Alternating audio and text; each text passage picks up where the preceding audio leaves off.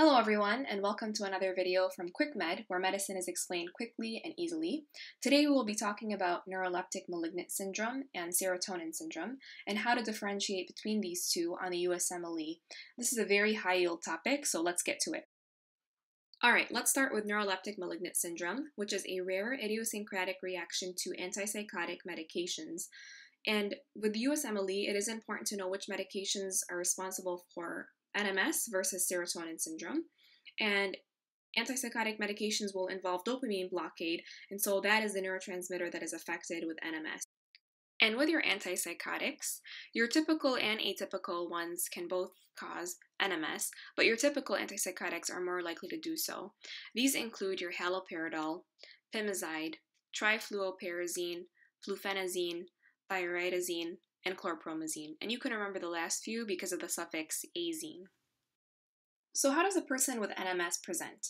Some signs and symptoms that you might see in your test question include fever and mental status changes, tachycardia, and hypertension. And something that is pretty characteristic to NMS includes bradykinesia and especially muscle rigidity, which can be described as lead pipe muscle rigidity or stiff arms and legs or difficulty with bending the legs on your test questions.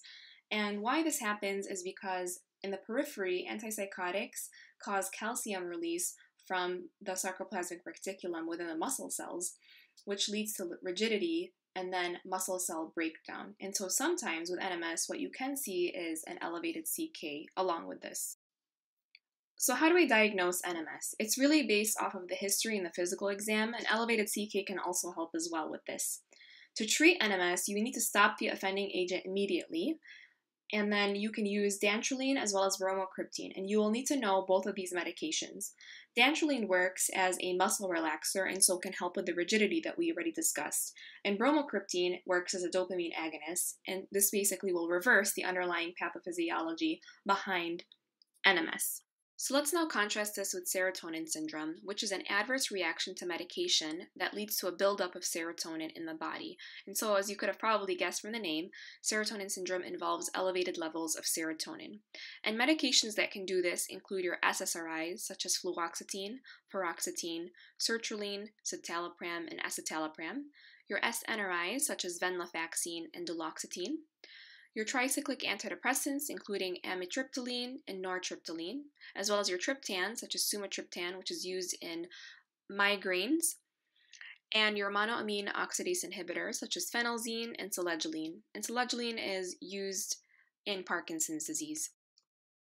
I tried to list out some of the more common medications that you will see on your question stems, but just know that there are more medications in each of these classes than are listed on this slide. And oftentimes on your question stem, you might see more than one of these medications listed because serotonin syndrome often involves a combination of these medications. And with serotonin syndrome, a patient will often have signs and symptoms that are very similar to NMS, which is what makes them difficult to differentiate between the two. They can have fever and mental status changes again, as well as tachycardia and hypertension. But unlike neuroleptic malignant syndrome, where we talked more about rigidity, with serotonin syndrome, it'll be more of a hyperactivity. So you will see things like myoclonus, hyperreflexia, and tremor, compared with the more rigid, uh, bradykinesic sort of state that we discussed with NMS. But I put an asterisk here just because I want you to make sure you don't rule out serotonin syndrome if somebody comes in with rigidity because muscle rigidity is also still possible here. With serotonin syndrome, you're also likely to see sweating and diarrhea and less likely to see that on an NMS question stem. The way that you diagnose serotonin syndrome is with history and physical exam, just as with NMS. Treatment also involves stopping the offending agent and starting cyproheptadine. Cyproheptadine is an antihistamine that also has serotonin receptor antagonist properties, and so it can definitely help when there's elevated serotonin in the body. The way that I remember cyproheptadine uh, for serotonin syndrome is that they both have an S sound. Alright, so just to review, it can be difficult to distinguish between neuroleptic malignant syndrome and serotonin syndrome on a question stem because their signs and symptoms can be very similar. What I would rely on is trying to identify the medication that is most likely involved in the patient's presentation. Because if we think it's an antipsychotic leading to dopamine receptor blockade, we can think more of NMS. Whereas if it's a serotonergic medication leading to a buildup of serotonin, then we can think of serotonin syndrome. And it is important to know the names of the medications in particular because the question stem will not give you a general medication class, but will throw in specific medication names. The signs and symptoms can be very similar again, with both presenting with fever, tachycardia, and hypertension. Muscle rigidity and an elevated CK is more likely to be characteristic of NMS, but again can also present with serotonin syndrome.